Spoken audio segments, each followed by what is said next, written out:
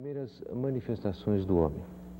Através da dança, os povos primitivos manifestavam as suas emoções, emoções tanto materiais quanto espirituais. Assim, as primeiras danças rituais vieram dar lugar, com o correr do tempo, às danças de preces, às danças de agradecimentos e às danças guerreiras. A verdade é que, do momento em que o homem se tornou dono dos seus músculos, quis submetê-los à lei dos ritmos.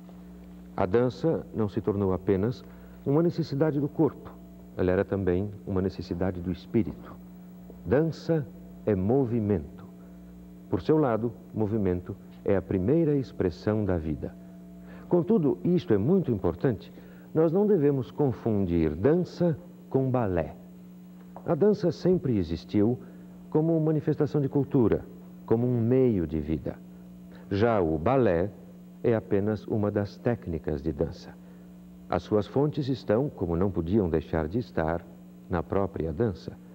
Mas o balé é uma arte que se submete a uma técnica própria, a uma série de posições e movimentos bem definidos que tem como instrumento de expressão o corpo humano. E agora vocês vão ter a oportunidade de ver os três estilos, o clássico, o neoclássico e o moderno, apresentados sob a forma de três pas de deux que vão se suceder. Pas de deux, na denominação clássica, significa um balé no qual tomam parte apenas dois dançarinos.